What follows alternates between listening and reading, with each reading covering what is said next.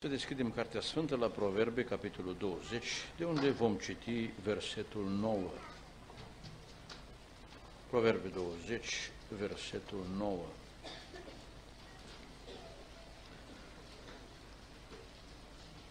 Cine poate zice, mi-am curățat inima, sunt curat de păcatul meu. Amin. Reașezați-vă, vă rog.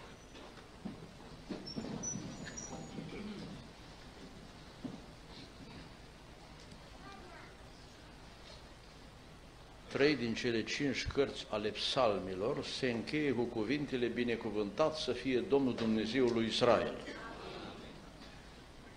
Evreii socoteau că ei singuri de pe toată fața pământului au Dumnezeu adevărat. Și într-un fel așa era atunci. Dar Apostolul Petru, după experiența din casa lui Corneliu, se justifica și scrie în fapte 15 că a zis Dumnezeu și-a aruncat privirea peste neamuri să aleagă și dintre noi un popor. Și acum mă întreb, dacă evreii își binecuvântau Dumnezeul lor și între timp acest Dumnezeu a devenit și Dumnezeul nostru, merită să-L binecuvântăm și noi. Slăvit să fie în vecii vecilor. Fie ca binecuvântarea acestui mare și minunat Dumnezeu să fie peste toți cei ce suntem aici, peste adunarea Domnului de aici, peste familiile noastre, așa după cum Domnul în îndurările sale poate să și le reverse peste noi. Amin. Tot de la început vă mulțumesc că în anii ce au trecut, unii dintre dumneavoastră știu sigur asta, s-au rugat pentru noi ca familie, pentru scumpa mea soție. Acum e așa încheiat alergarea, se odihnește la Domnul. Au fost mulți frași și sorori alături de noi, m-am mirat și de numărul de aproape 100 de mii de vizualizări la slujbele de privec și de mormântare, să-și reverse Domnul îndurarea și în această privință peste dumneavoastră. Oarecum fratele Liviu m-a făcut dator și atunci că a venit să fie alături de noi și așa se face că sunt și eu astăzi aici. Domnul așadar să fie slăvit. Amin. Am citit o întrebare la care aș vrea să găsească fiecare răspuns pentru sine. O repet că e scurtă. Cine poate zice? Dar nu ziceți acum. Sau vă ziceți dumneavoastră, fiecare în parte, așa, de la cămăruța aceea, de la fanfariști ce fi acolo, la oameni de ordine și peste tot, cu bănățeni, cu bucoveneni, cu tot. Cine poate zice? Mi-am curățat inima. Sunt curat de păcatul meu. Vă solicit în această seară să vă lăsați cercetați de Domnul. Că dacă nu insist, ar putea să treacă mesajul din start pe lângă unii dintre dumneavoastră. Să credeți că sunteți ok, cum spunem noi așa pe scurt. Știți că Domnul atunci când a vrut să dezvăluie identitatea unui vinovat, i-a îndemnat pe toți ceilalți să se autoevalueze. Fiecare a zis, nu sunt eu. Cred că este corect să ne suspectăm. Asta nu că ne îndoim de iertarea Domnului la care ne-a dat-o. Dar ascultați ce spune David, citesc din Psalmul 139. Ca unul care începea cu cuvintele, Doamne, Tu mă cercetezi de aproape și mă cunoști și de departe împătrunzi gândul, căci nu mi-ajunge cuvântul pe limbă și Tu, Doamne, îl și cunoști în totul.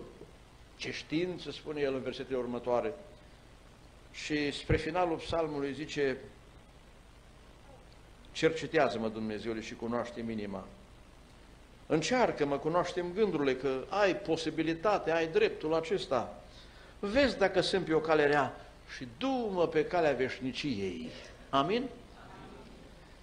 Haideți să ne lăsăm cercetați pentru că vom mai citești din cuvintele Domnului din Matei, capitolul 7. Să știți că dacă cineva nu vrea să-și facă inspecția necesară, Dumnezeu îl poate lăsa în inconștiență. Aici scrie că mulți vor zice în ziua aceea, rețineți mulți, nu puțini, vor fi surprinși că nu pot să intre în împărăția lui Dumnezeu, versetul 23, atunci le voi spune curat. Doamne, mai bine spune-ne acum curat. Atunci, ce șansă mai avem să ne-o spui? Pentru noi ar fi prea târziu. De asemenea, scrie în Cartea Apocalipsei, la capitolul 3, într-o adresă către Îngerul Bisericii din Laodicea, versetul 15, știu faptele tale. Domnul știa, dar el nu știa. El zicea, versetul 17, sunt bogat, m-am îmbogățit, nu duc lipsă de nimic și nu știi. Ești ticălos, nenorocit, sărac, orb și gol. Și Domnul nu i-a spus doar așa ca să-l înjosească, a vrut să-i dea soluția, să-i vină în ajutor și în final îi promite, dacă ascultă, îl pune cu el pe tron. Că Domnul niciodată când ne ajută să ne identificăm păcatul, nu vrea să ne condamne. Spune în Ezechiel, doresc eu moartea păcătosului. Nici de cum. Domnul vrea să rezolve într-un mod binecuvântat problema păcatului nostru și să ne dea viață, mărit să fie numele Domnului. În ideea aceasta că vreți să veniți cu mine în cercetarea asta, să nu mă duc singur, dacă nu mă inspectez eu pe mine și tot îmi prinde bine. Haideți să continuăm. Cum s-a produs uh, prima dată păcatul în umanitate? Știți, protopărinții noștri, Adam și Eva, erau fericiți acolo în grădina Edenului, vorba fratelui Ioanid, cel care a compus și poezia din poem, că parcă îți vine să regres că nu erau atunci în lume nici cronicar și nici poet să ne dea mai multe date și ceva imagini, cum suntem noi obișnuiți. Au fost așezați să consume după plăcere din toți pomii din grădină. Nici nu cred că au apucat să consume din toți. Și cu siguranță n-au consumat tot din toți ca de foame să fi mâncat din pomul cunoștinței binele și rău. Dar a venit diavolul și le-a sugestionat. Toți ceilalți pomi sunt buni, ați văzut, dar acesta este grozav. Dacă mâncați din el, ați văzut voi cum arată Dumnezeu. Ați văzut ce capacitate are, v-a creat pe voi. Adam, uite ce ți-a creat Dumnezeu. Dacă vei consuma de aici, identic vei fi. Și i-a corupt, așa -i? Și-a consumat. Și dintr-o dată s-a uitat unul la altul că nu mai seamănă.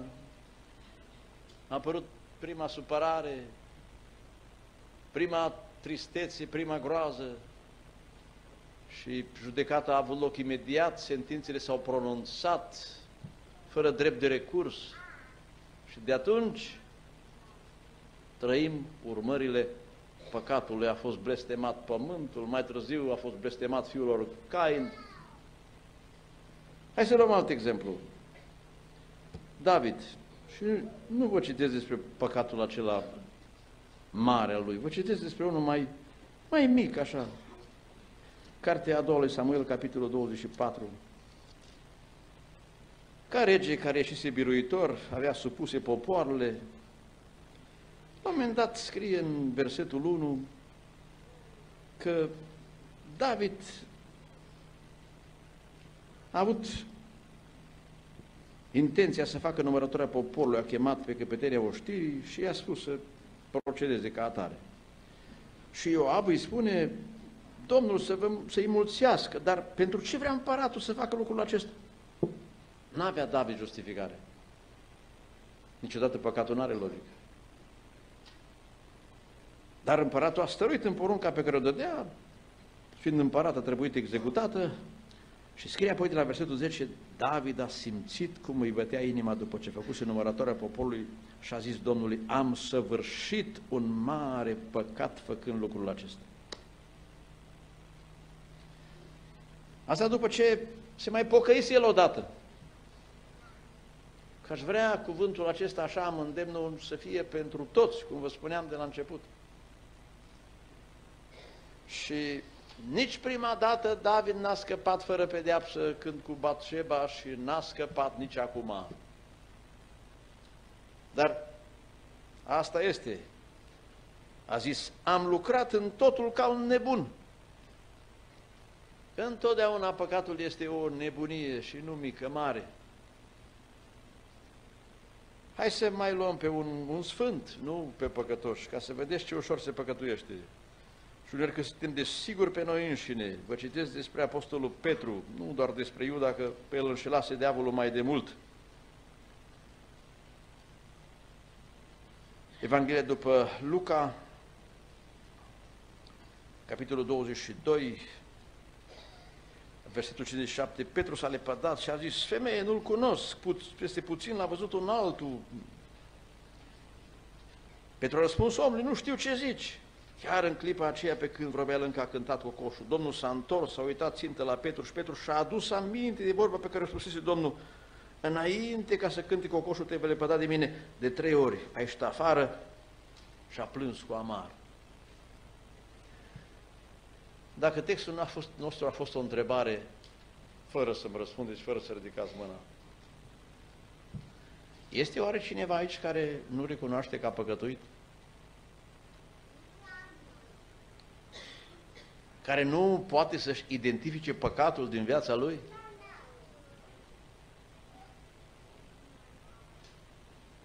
În uh, Evanghelia după Luca, la capitolul 7, este scris că Domnul a intrat în casa unui fariseu, pentru că în vremea aceea oamenii se clasificaseră în două categorii, neprihăniți și păcătoși. Farisei se considerau neprihăniți, adică fără păcat. Domnul a intrat în casa unui astfel de om, versul 36, versul 37 ne spune că a venit o femeie păcătoasă. S-a așezat la picioarele Domnului și atunci nu se stătea la masă ca acum, așa pe scaune, cum am servit undeva masa în aer liber, cum se întâmplă și acum în alte părți ale globului, așa stând cum stau arabi în cotul stâng și mănânc cu mâna dreaptă, și toți în jur, și fiind așa ca razele unui cerc, undeva la picioarele Domnului s-a așezat femeia asta, a început să plângă și nu se putea opri. Cu siguranță Domnul a sesizat-o, a sesizat-o și gazda și ceilalți. Și spune omul acesta, nu-i proroc, dacă ar fi proroc, ar ști că femeia asta e păcătoasă. Și Domnul i-a spus o pildă cu doi datornici, unul datorat 500 și altul 50. Și ce a spus? Niciunul la scadență n-a putut să plătească. Și creditorul s-a hotărât să-i absolvă pe amândoi de datorie. Și spune Domnul acestei femei, Adică spune mai întâi despre ea, vezi tu pe femeia aceasta? Tu o consideri păcătos. Și este. Pătorează mult. Dar ca să știi că tu ești păcătos, îți dovedesc că astăzi aici în prezența mea ai păcătuit. Și spune ce? Dar să nu fiți curios de ce au păcătuit alții. Și apoi spune, adresându-se lui, cu referire la femeie, versetul 47, păcatele ei care sunt multe, sunt iertate. Dar de-a lui, care erau puțini, a zis că erau iertate. N-a zis. Deci cu siguranță că unii au păcătuit mai mult, mai grav. Alții mai puțin. Dar nici copiii ăștia frumoși de ăștia, pe primul rând, cu siguranță, nu sunt fără păcate. Că așa suntem noi, cum se dă în Psalmul 51, un păcat m-a zămislit, doamna mea, fetele astea care cântă, băieții ăștia, Păi dacă ar fost să mărturisească, cu siguranță s-ar fi mărturisit la vremea lor. Eu am întâlnit un caz când o fată vrea să boteze și când am întrebat dacă ai ceva de mărturisit, a zis că nu. Zic, atunci tu nu trebuie să te botezi. Numai cei bolnavi au nevoie de doctor. Botezul înseamnă îngroparea păcătosului în mod simbolic. Domnul a murit pentru el și el este numai cufundat în apă în mod simbolic. A zice, nu, că am păcate, dar Uneori nu conștientizăm în mod suficient. Nu de puține ori la mărturisiri, că unii au venit poate nepregătiți sau aveau haina undeva acolo, într-o garderobă. Am fost nevoit să dau șervețele la oameni, bărbați sau femei, care au început să plângă, să-și vadă vinovăția. Spunea un frate păstor că s-a dus undeva în aer liber cu niște tineri, s-au apucat de joacă, așa, ca tinerii care încă nu s-au făcut mari și nu au lepădat ce copilăresc. Și a zis, măi, dar acum ați avea ocazie aici să vă mărturisiți. Și da, noi, ce să ne mărturisim? Nu suntem copii pocăiți, da? Și le-a dat o listă așa de cercetare cu vreo sută de păcate, sau nu știu exact ce listă a fost. Ia survolați așa cel puțin. Uitați-vă, știi? Și zis, frate, s-au desfințat echipele de pe teren. S-a făcut coadă la mărturisire. Dar și eu mă simt vinovat. Am pe unii care s-au mărturisit și iar vin înapoi, unor la stăruință. Ce s-a întâmplat? Mi-am mai amintit ceva. Mi-a fost foarte drag în iarna trecută un copil de pe clasa a șapte, a venit să mărturisească. Așa plângea, spunea, frate, m-a înșelat lumea asta, cu tehnologia asta, cu internetul, cu telefonul, ba, mai supărat și pe mama. Așa conștient era la 13 ani, l-am admirat cum și-a identificat de corect păcatul, așa cu lacrimi. O, să ne cerceteze Duhul lui Dumnezeu despre care a spus Domnul în Evanghelia după Ioan că atunci când vine, dovedește lumea în ce privește, vinovat în ce privește păcatul. Am auzit mărturisirea unei fete de la Cluj, la noi la biserică. Descrierea așa, cu tineri împreună, dar era irascibilă, nemulțumită de cum arată, mai avea și alte supărări în relațiile ei. Și a văzut că alții se bucură, cântă, plâng și a zis, eu, ce-mi lipsește? Și mi-a spus, du-te, fă o mărturisire. A luat ea o foicică și a început să scrie, să n-am emoții acolo, să nu uit. Dar la un moment dat spune, Doamne, ajută-mă Tu să-mi identific corect păcatul, spune-mi Tu ce-i păcat, că nu eu definesc cum vrea lumea noastră să redefinească toate valorile și toate normele, nu mai, nu mai este axiomatic în postmodernismul nostru. Și-a dat seama că foicica aceea e prea mică pentru ea.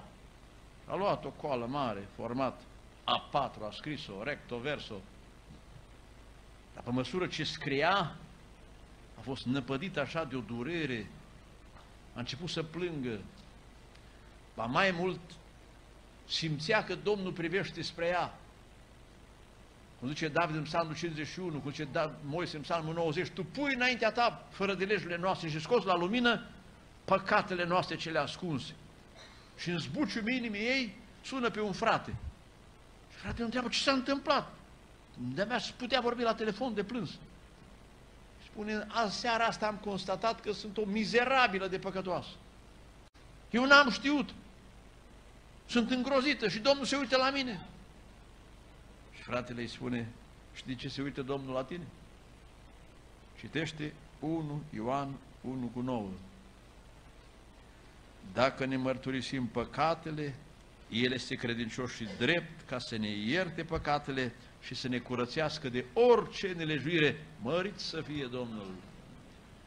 Și spunea fata, în timp ce citea versetul, a simțit așa că trece o apă pe din afară și pe dinăuntru, că o spală și dintr-o dată s-a simțit bucuroasă și înviorată, că e ferice de cel cu fără de legea iertată și cu păcatul acoperit. Mărit să fie Domnul! Eu insist, am îndemnul acesta lăuntric să o fac. Este cineva aici cu păcate identificate și nemărturisite? Zice David în Psalmul 32. Citesc de la versetul 3. Câtă vreme am tăcut, mi se topeau oasele de gemetele mele necurmate, că zi și noapte mâna ta apăsa asupra mea. Mi se usca vlaga cum se usucă pământul de seceta verii. Sau scrie tot el în Psalmul 51, un psalm al mărturisirii sale, citesc, versetul 3, căci îmi cunosc bine fără de legi și păcatul meu este necurmat înaintea mea. Hai să le spun ceva și la copiii ăștia de acolo. Un băiat așa ca voi, când s-a adunat colecta, cum s-a făcut și în seara asta, socotind că e duminică seara și pe luni, mama nu i-a promis niciun leu, a sustras de acolo ceva, a considerat că nu-l vede nimeni, numai că luni dimineață când s-a dus mama să-l scoale, să meargă la școală, era treaz. Băiete, dar niciodată nu te-ai trezit de la tine citire. Da, mama, n-am prea dormit. Dar de ce? Te doare ceva? Și așa, vrând, nevrând, a spus că la primul păcat inima stremură tare, la al doilea, și cu vremea să zici că nici nu-i chiar așa păcat, dar când o să fii cercetat, o să-ți dai seama ce mare păcat e. A spus ce a făcut și spune mama, acum te duci la școală să nu întârzi, dar după masă mergem la frați cu banii și lasă că-ți dă mama bani și tu îi dai înapoi. Da, mami. Și când s-a dus, fratele care aduna colecta a zis, da, te-am văzut, da, am vrut să văd dacă recunoști. Că Dumnezeu ne știe și ne vede. Și nu El are nevoie să ne spovedim noi și să spunem, Doamne, știi ce am făcut, că știe mai bine ca noi. Știa încă înainte de a comite noi păcatul, de aia Domnul a spus lui Petru, vezi că tu te lepezi. Și de aia Domnul a spus lui Cain, vezi că e păcatul la ușă. Dar Domnul vrea să vadă că noi vrem să ne disociem de păcat, respingem, că ne pare rău, mă doare pentru păcatul meu, îmi mărturisesc fără de legile și Domnul care este bun să ierte, mărit să fie Domnul. Iată așadar că ușor se păcătuiește. Și păcatul, cum zice Iacov, odată făptuit aduce moarte. Roman 6 cu 23, plata păcatului este moartea. Nu se poate plăti păcatul. Mai sunt unele concepte religioase potrivit cărora faci o faptă bună și s-ar compensa ceva. Eu le mai spun unor la oameni la înmormântări, care încearcă să se bizuie pe, pe faptele lor. Dragii mei, toate faptele noastre bune de o viață, dacă ar fi să ne taxeze Dumnezeu, nu plătesc serviciile Lui care ne le face pe o zi. Că Dumnezeu ne încălzește cu soare, ne creează condiții de viață, face ca toate organele să fie funcționale și ne dă atâta îndurare, ne păzește ca să nu ne atace diavolul și cât bine ne face Dumnezeu că e prea bun, cum spunea psalmistul, mărit să fie Domnul. Nu putem să îi dăm lui Dumnezeu ceva pentru faptele noastre. Nu putem să ne salvăm noi vorba profetului Eremia, de te sau cum scrie Domnul prin Eremia, zice, dacă te-ai spăla, nu se duce păcatul cu asta. Nu scăpăm de asta. Dumnezeu vrea în primul rând să ne vedem starea păcătoasă. Să știți că biserica nu e muzeu de sfinți, este spital de păcătoși. Și au fost situații când oamenii n-au mai așteptat și în plină adunare unii s-au ridicat și și-au spus păcatul. Scrie în Ioan capitolul 4 că Domnul a intrat în vorbă cu o femeie și i-a spus că poate să dea apă în urma cărei consum să trăiască veșnic. Și femeia a zis, dă-mi apa asta. Știți ce a spus Domnul? Tu te cheamă bărbat. Și ea, și n-am bărbat, că trăiam concubinaș. Și Domnul îi spune, aici e spus adevărul, ea spune, ești proroc. Și ce interesant, între altele acolo, se duce ea la marginea cetății, spune, veniți că am găsit un om care mi-a spus tot ce am făcut. Poate că unii curioși și fi și întrebat de ce ai făcut. Sau poate că știau dacă erau publice faptele ei. Dar nu i-a mai păsat. Și am o întrebare simplă pentru dumneavoastră. Cum ar fi mai bine? Să știe toată gătaia și toată Hunedora, toată Timișoara că ai avut cancer și ai scăpat, sau să fi murit și să nu știe nimeni ce ai murit? Cum ar fi mai bine? Noi să știe toți că am fost bolnav pe moarte, dar am scăpat, decât să nu știe nimeni că eu de cum am fost bolnav. Știți toți că am fost frumos și m-au ascuns sub glie să nu mă concureze un altul. Există la diavolul ispitirea asta întâi să ne provoace să păcătuim și apoi să ne împingă spre a ne ascunde, măcar că odată ce omul păcătuiește, păcatul creează dependență, păcatul se amplifică și spun celor ce încă stau în cumpănă să se mărturisească sau nu. Păcatul nu se prescrie în societatea noastră, pe codul civil, penal, la anumite fapte, dacă trece anumit termen și dacă se află sau dacă mergi și spui, nu mai te judecă, a trecut termenul până la cât erai urmărit de instanță. La Dumnezeu păcatele nu se prescriu. Spune despre fiul lui Iacov, cei care l-au vândut pe fratelor Iosif, că trecuseră 20 de ani, l-au vândut, au tăcut Un secret foarte bine păzit. Dar când au ajuns în Egipt, că cine i-a trimis? Ei trebuia să meargă după fraților, că l-au vândut, nu? I-a pus puțin la arest Iosif și au început să vorbească. Și a zis Ruben, nu vă spuneam eu. Dar cine i-a întrebat? Au fost oameni care pe patul morții, în condiții normale, cu mintea noastră, nu se poate realiza. Așa ca un fulger le-a trecut prin față toată viața lor. Să vedeți la înviere cum o să vă treacă prin față. Nu ca un fulger. Acolo rămâne imaginea. Și pentru vecii vecilor nu scăpăm de acele imagini. Dar Domnul prin iertare poate să ne elibereze. Mărit să fie Domnul. Dacă venim la Domnul,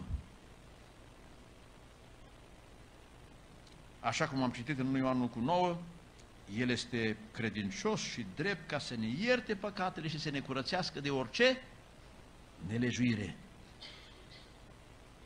Deci prima întrebare a fost, ați identificat păcatul? A doua, v-ați mărturisit păcatul? Și că e neplăcut să-l mărturisim uneori. Mă întâlnesc câte o fată care spune, dar eu am antecedentele mele. Chiar trebuie să-i spun celui care mă căsătoresc ce am făcut. Sau și mai grav, vreo femeie căsătorită care a înșelat-o diavolul. Dar dacă află bărbatul ce am făcut. Un angajat care a fost bine privit în ochii patronului. Și acum să se spună că de fapt a umblat la bani și a luat. Dar un tânăr care slujește în adunare să vină la păstor să spună, frate, știi, eu cântam solo, dar o vreme trebuie să spun că am păcătuit solo. Nu știe nimeni. M-a întrebat toată cineva, și cum o să vă uitați acum la mine după ce v-am mărturisit? Zic, ca la un sfânt, că până acum ai fost un păcătos. Noi nu ne dăm seama ce valoare are mărturisirea, dragii mei. David a încercat să-și tenuiască păcatul.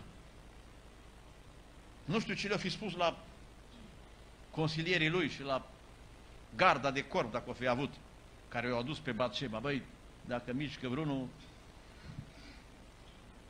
A venit Urie, a încercat să-și mascheze păcatul.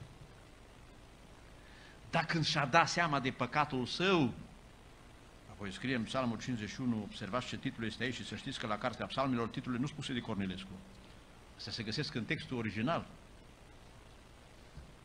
Către mai marile cântăreților. N-am mai tăinuit, am mers la dirijor.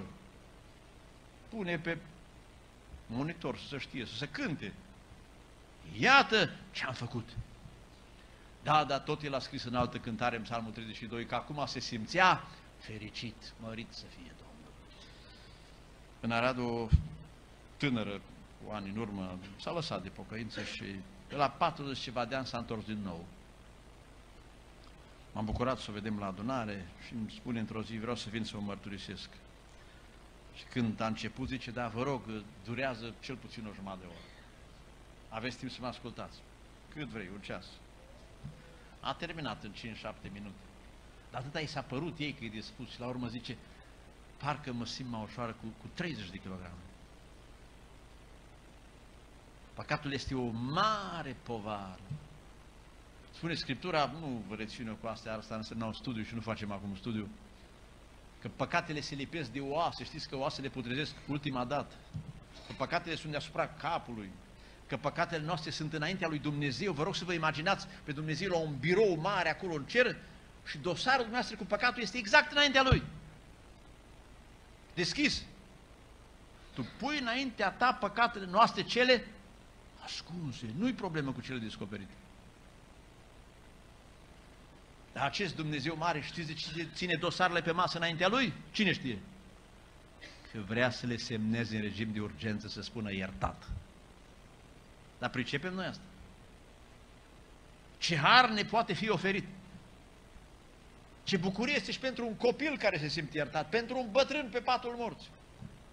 Spune că un copilaș se uita la harta fizică a lumii, știți unde este apă, este cu albastru, dacă e mai adânc, e un albastru mai închis, a fost acolo în Pacific, unde e groapa Marianilor. Și zice, de ce e acolo mai, mai închis? Zice, acolo e mai adâncă apa, acolo e fundul mării.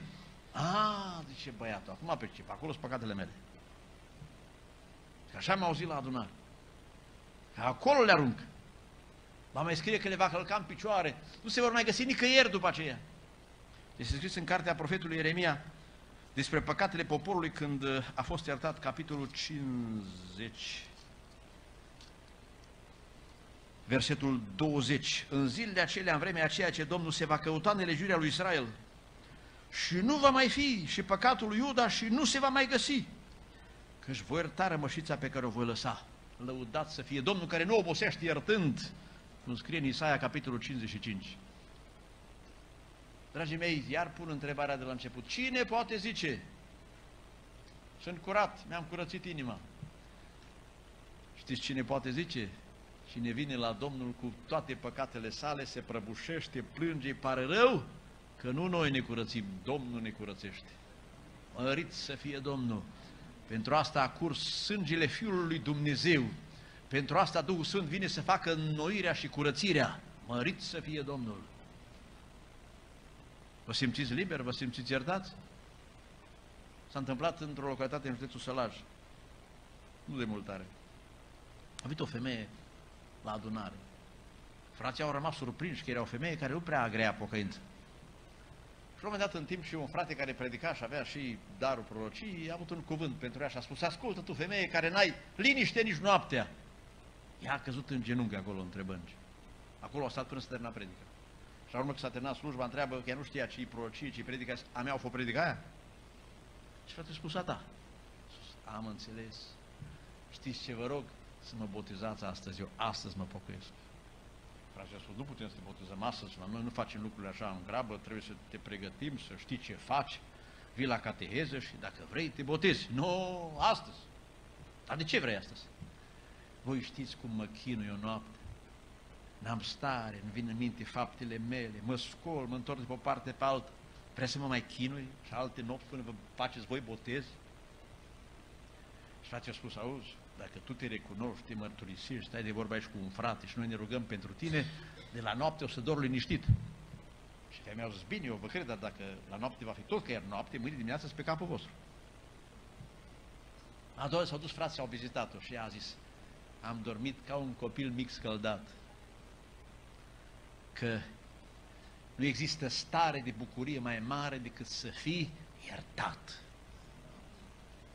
Până mai ieri era o sânda lui Dumnezeu peste tine și te aștepta judecat. De astăzi, nicăieri în univers, nici în inima ta, nici pe biroul lui Dumnezeu, nu se mai găsesc păcatele. A fost distrusă toată arhiva. Spune Scriptura, vă citesc din Evrei de la capitolul 9, că în Vechiul Testament când se aducea jertfă câte un animal, asta nu rezolva problema. Era doar o acoperire, asta era ispășirea Vechiului Testament. Citesc Evrei 9 de la versetul 9 scrie că darurile acelea nu puteau duce pe cel ce se închină la desăvârșirea cerută de cugetul său, adică înăuntru lui omul îi spunea că nu, tot nu e rezolvat pe deplin. Dar scrie apoi de la versetul 14 de sângele lui Hristos care prin Duhul cel verde s-a adus pe sine în fără păcată, fără pată lui Dumnezeu, vă va curăți cugetul vostru de faptele moarte ca să slujiți Dumnezeului celui viu. Adică în conștiința noastră se primește eliberare, liniște, pace, ne simțim iertați și asta face să se declanșeze bucuria mântuirii și lauda pentru Domnul și asta pentru vecii vecilor. Măriți să fie numele Lui vă doresc tuturor să fiți iertați în seara asta, să nu mai dormiți, cum spunea acea femeie cu frământări la noapte. Să dormiți liniștiți și în pace, lăudat să fie Domnul. Dar faceți-o, mărturisiți-vă. M-a sunat odată o tânără, spune, frate, vreau să o mărturisesc. Gata, a spus. Eu îi trimit pe oameni la slujitorii lor, dar dacă unii vor să vină, atunci le dau și eu un sfat. Și în final zice, dar mai am ceva. Păi spune acum până în capă dacă te-ai apucat de spus. Dar e groasnic. Și până la urmă după ce tot am lămurit-o, a convenit să spună în următoarea condiție. A zis, cum termin de spus, închid telefonul, nici nu salut, că nu mai pot să vorbesc după ce au zis ce am făcut. Bine, hai fi așa. Așa a făcut. Nici nu mi-a răspuns în grabă până am mai sunat eu. Nu era chiar atât de grav ce spuse, am mai supărut ei, alții au păcătuit mai grav. Și... Dar am vrut să scot în evidență faptul că își simțea povara asta și voia să se dobândească liniște și pace. Și asta numai po- Domnul poate să vă dea când vă mărturisiți. Amin. Aș vrea acum să trecem mai departe. Dacă am vorbit de identificarea păcatului, de mărturisirea păcatului, de iertarea păcatului, Scrie în Ioan 8 cu 11 că au venit niște oameni să o sândească pe femeie, Domnul le-a spus că și ei sunt vinovați, îmi pare rău de ei că au plecat fără să mărturisească. Și apoi rămâne Domnul cu femeia și îi spune, du-te și să nu mai păcătuiești. Acum, dacă aș fi întrebat înainte că cine se simte vinovat, ne-ar fi fost fială, că ar fi trebuit celălalt să închidă ochii și n-ar fi făcut-o. Dar acum, dacă aș pune o întrebare, la asta ați putea să ridicați toți mâna și cine nu ridică, să-l ierte Domnul. Cine vrea să nu mai păcătuiască? Nu ridicați mâna. A, așa, bun, gata. Asta numai pentru dovadă, doi, trei martori au fost. Cine vrea să nu mai păcătuiască? Eu vreau să nu mai păcătuiesc. Ba chiar mă simt flămând și însetat după neprihănire. Și mi-am propus să nu mai păcătuiesc. Poate ați auzit mărturia aceea scumpe mele soții în care Domnul s-a prezentat și a întrebat, Doamne, ce să fac că vreau să nu te mai necăjesc niciodată. Asta mi-am propus și eu, să nu mai necăjesc pe Domnul niciodată și nu mi-am propus numai o dată. Și iar am greșit. Și iar am scăpat o vorbă. Și iar trebuie să vin. Și am zis că eu cred că așa am să mor, flămând și însetat după neprihănire. Tot să-mi doresc să fiu mai sfânt. Vă doriți și dumneavoastră? Sau sunteți din aceia care spun, asta nu-i mare în fața unui Dumnezeu Sfânt, așa vrei să treci, cu nota 5, cu 4, 50, asta treci. Dumnezeu ne vrea sfinți, curați, suntem prinți, suntem mireasa Domnului. S-a dus la un slujitor, un tânăr și a zis, știi frate, eu sunt pocăit, dar uite, am o slăbiciune. Ce zici? Trec cu asta, intru pe poartă. Dar tu în rest ești pocăit, frate, slujesc, dau bani, mă sacrific. Și când a văzut că oarecum uh, primește înlesnire, a zis, știi, dar mai am una. Oare trece și cu asta. Și ca să-l prindă, i-a zis că el îi, do- îi dorește, dar la urmă spune, mă băiete, să te anunț ceva, e oficial ce spun acum. Acum la poartă nu sunt eu, mă. Și copilul cu minte zice, atunci ce a rezolvat că am vorbit amândoi? Tu ai crezut că și cu mine trebuie să rezolvăm? Ce zice Ioan Botezătorul? Eu vă botez cu apă, da? Nu eu fac inspecția de fond. Vine după mine unul care își curăță area cu desăvârșire, greu îngrânar, iar pleava într-un foc care nu se stinge. Doamne, fieți milă de noi!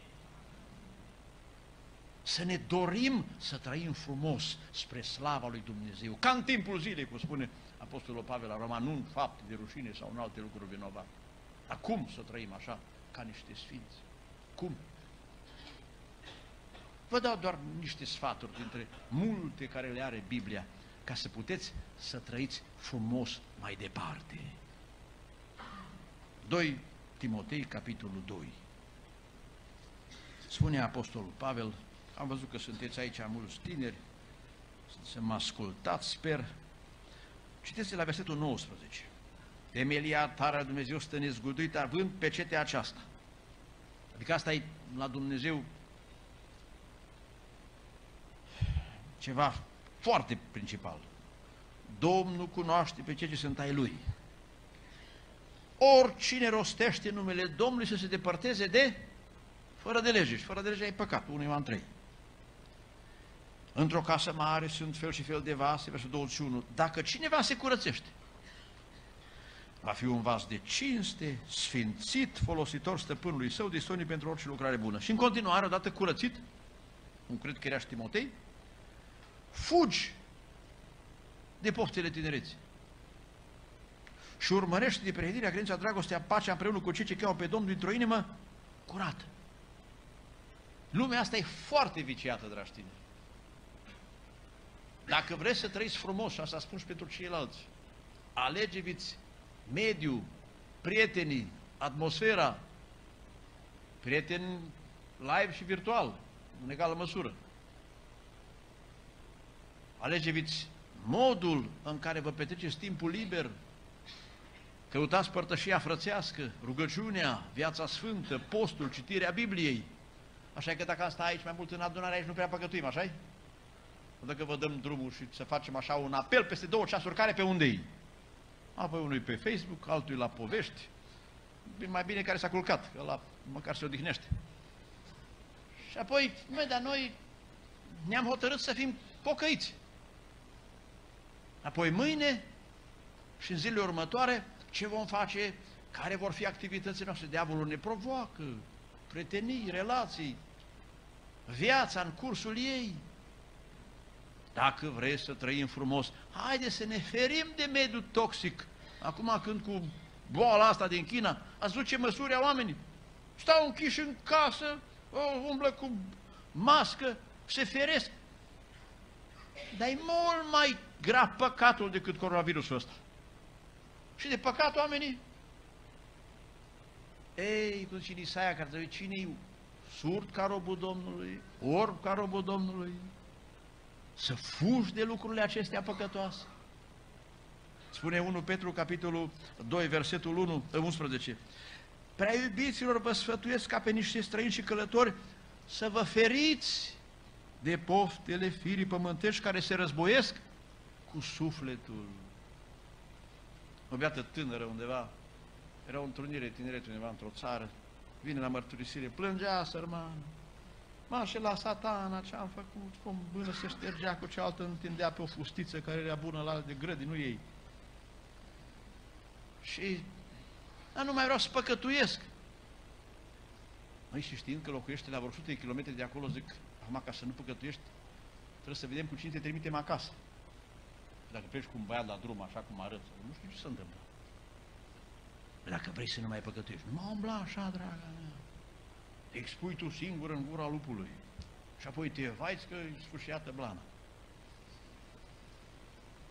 Păi dacă te prinzi în astfel de activități, nu ai nicio șansă să nu mai păcătuiești. De aceea ne, Biblia ne spune foarte clar să fugim de păcat, de lumea asta. 1 Petru, capitolul 4, versetul 3, ajunge în adevăr că în trecut ați făcut voia neamului, ați trăit în desfrânări, pofte, beții, ospețe, chefuri. De aceea se miră că nu alergați împreună cu ei. Gata. Păi vino că nu știu ce întrunire, prietenii. Nu-mi pot permite.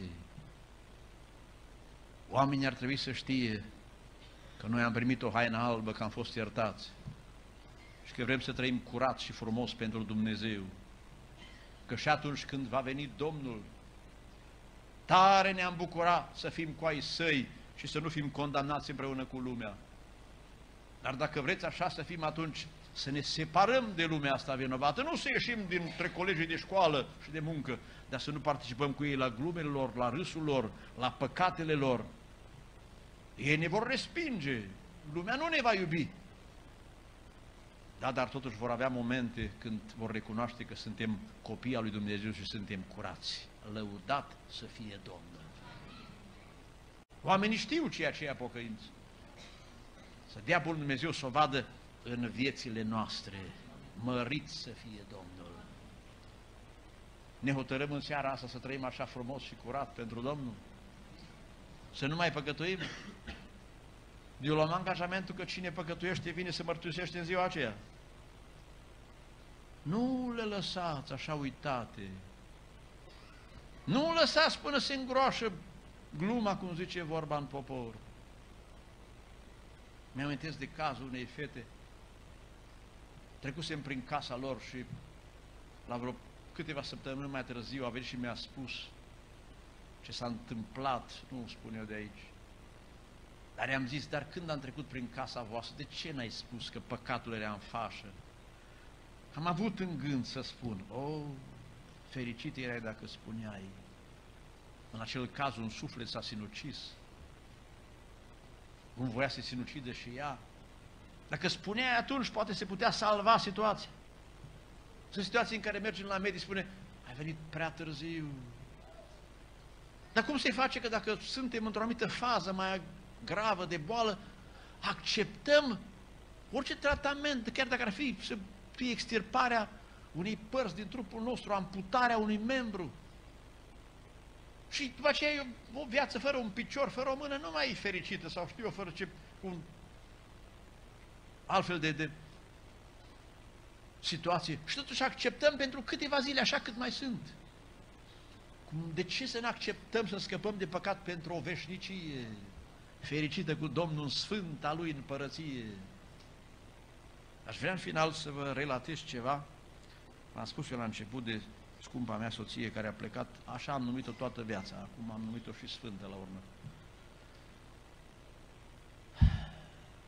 Cu aproximativ o lună de zile înainte de a pleca la Domnul, un proroc în vârstă, care a mișlocit mult pentru ea, a avut următoarea vedenie, care vă spun că este oarecum în contextul lecției noastre. Și s-a arătat un munte al împărăției lui Dumnezeu. Unii oameni veneau până la poalele muntelui și nu vreau să urce. Ăștia sunt cei ce vin până la adunare, dar nu se pocăiesc. Ei nu se angajează în a intra în legământ cu Domnul și a urca spre împărăția Sfântă. Dar a văzut apoi, așa curgea imaginea vedeniei, pe cei ce urcau pe multe. Unii pe cărări mai nete, de alții pe teren mai accidentat, că viața nu-i pentru toți la fel. Ce era foarte important, pe la jumătatea muntelui era o o oprire. Era un filtru de îngeri și de acolo nu mai trecea numai cei ce făceau parte din Biserica Domnului. Adevărată, la el în evidență, nu doar la noi. Și undeva în partea stângă se vedea o fiară. Și și-a dat prorocului între cei ce ajunseseră acolo să-i cunoască pe doi. Și s-a spus, ăștia doi vor muri primii. Două săptămâni mai târziu îl întâlnește pe unul dintre ei și îl întreabă, frate, ce faci? Și bine, sănătos, mănânc bine, muncesc, dorm bine. Două săptămâni mai târziu era în mormânt. Dar prorocul l-a vizitat ca bolnav, fiind cu o zi, două înainte, dinainte de a pleca de aici. Și îl întreabă, frate, cum ești? Omul speriat și spunea, cum îmi dau seama? Am fost prins cu iureșul vieții, eu n-am trăit pocăința așa cum trebuie. Mă simt așa de vinovat, și nu știu ce va face Dumnezeu cu mine. Mă întorc la vedenie. Ăștia care nu erau să treacă de aici, din oameni în carne și oase când jau la capă de drum la sfârșit de viață, se transformau în mod simbolic în niște copaci uscați. Veneau niște muncitori forestieri, fasonau așa ca pe copacul Nebucadențar, rămânea numai trunchiul și îi adunau acolo într-o grămadă de bușteni. Și a întrebat, Doamne, ce cu ăștia?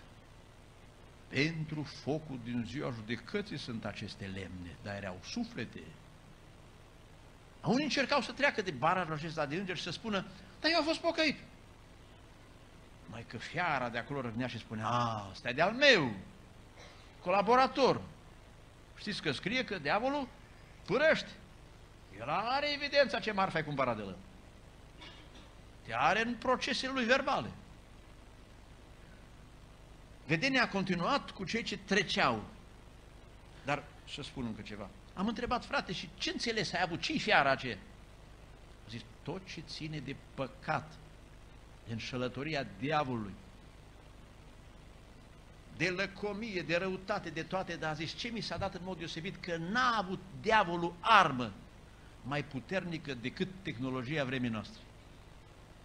Cu asta răpune pe capete, distruge în masă tineri dragi, atenție! Dar sesizarea e valabilă pentru toți. Revin la vedenie, s-a arătat cei ce treceau de acolo, mai puțin, unde rămăseseră acolo, nu mai trecut prea multe obstacole și dintr-o dată, după cum curgea filmul vedeniei, a văzut o cetate sclipitoare, frumoasă, cu porți de aur. A povestit la doi frați pentru mărturie, mie nu mi-a spus numai după ce a plecat soția.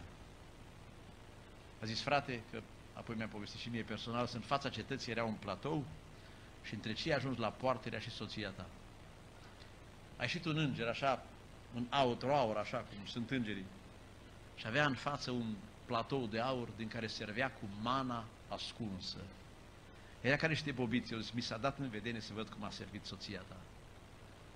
O singură boabă, n-a mai rămas în carne și oase, s-a transformat într-o formă ca îngerului și am cunoscut-o care ea de înger numai după fața ce o avea. O zis, știu că soția ta a avut o față senină. A zis, după ce a gustat, așa bucurie radia pe fața ei. O zis, dacă tu ai văzut vedenia asta, măcar că te doare pentru plecarea ei, nu te-ai mai putea întrista niciodată, văzând ce stare are acum. Și o să am auzit îngerul care a zis, bucură-te că faci parte din Biserica Domnului și ești dintre cei cu răsplată de plină. Îți vei auzi numele, va suna o trompetă, se vor deschide aceste două porți și vei intra în cetate. Au zis, frate, după ce am avut vedenia asta, spunea fratele că n-a fost vis, au zis, n-am mai dormit toată noaptea, că m-a marcat prea profund imaginea asta. Când mi-a povestit, mie trecuseră două luni de când a fost vedenia, a zis, parcă și acum am imaginea aceea. După ce am văzut cum sunt opriți unii, că au cochetat cu lumea și cu păcatul, și în ce fericire intră alții, însă frate, și până acum m-am luptat, dar de acum nu mai mă uit în urmă la nimic. Nu mă va atrage în lături nimic. Și nu mă mai interesează de acum că voi fi bolnav sau sănătos. Că mă ia cineva în brațe sau mă calcă în picioare. Un singur lucru vreau, să nu mă oprească acolo și să ajung dincolo. Frați și surori, stimați prieteni, Dumnezeu a hotărât să se îndure de noi. Dar vă îndemn în această seară să ne dezicem totalmente de păcat. Să venim la Domnul că este bun și ne iartă. Să ne mărturisim cu toată inima și apoi să ne luptăm cu toată puterea ca să trăim frumos. Și de cum va se mai scapă vreunul și păcătuiește, și la frasă ceară îndurare și iertare de la Domnul cu ei și să apelăm la scaunul îndurării, la scaunul Harului și Domnul care este bun, cum a zis Ezechia, să ierte în așa fel încât viața noastră să fie curată și când se va pune întrebarea în textul nostru, cine poate zice mi-am curățat inima? Să putem ridica ambele mâini și să spunem, mi-am curățit-o, că mi-a curățat-o Domnul, am venit înaintea Lui, m-a iertat, am primit o haină albă și de acum aștept să intru în împărăția lui Dumnezeu. Fie harul Domnului peste biserica de aici și peste tot poporul. Amin.